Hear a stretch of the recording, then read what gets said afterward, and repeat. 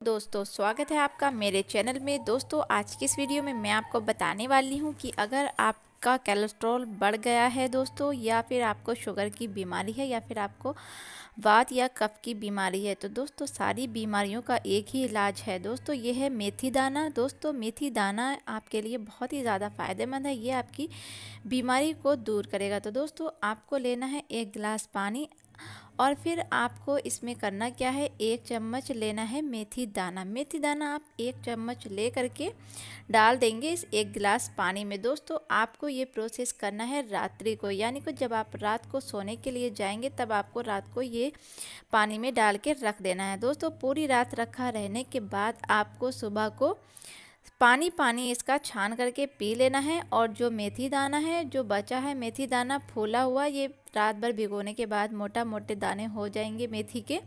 तो दोस्तों, आपको ये मेथी दाना बाद में चबा चबा करके खाना है और पानी पी लेना है। दोस्तों, आपके वात, कफ की बीमारी हमेशा के लिए ठीक हो जाएगी। दोस्तों, अगर आपको मेरा वीडियो पसंद आया हो तो वीडियो को लाइक कीजिए और चैनल को सब्सक्राइब ज़रूर कीजिए।